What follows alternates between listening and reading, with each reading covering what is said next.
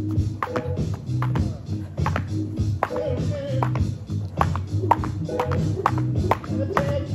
you.